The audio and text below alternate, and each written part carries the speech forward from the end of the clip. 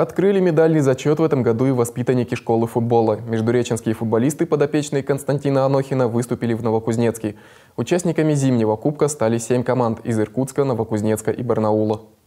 На старте турнира «Дюж-2006-1» своим матчем уверенно выиграла и возглавила турнирную таблицу вместе с новокузнецким «Металлургом». Во второй день лидеры встретились между собой в очном поединке. В противостоянии добились обоюдного счета 4-4. В следующем матче междуреченцы вышли против барнаульского полимера и уступили сопернику 0-6. В последний игровой день наша команда победила иркутский «Байкал» 6-2 и новокузнецкий «Дюж-2» со счетом 8-3. Дружина завоевала серебряные медали. А лучшим защитником был признан капитан капитан Игорь Бугаев.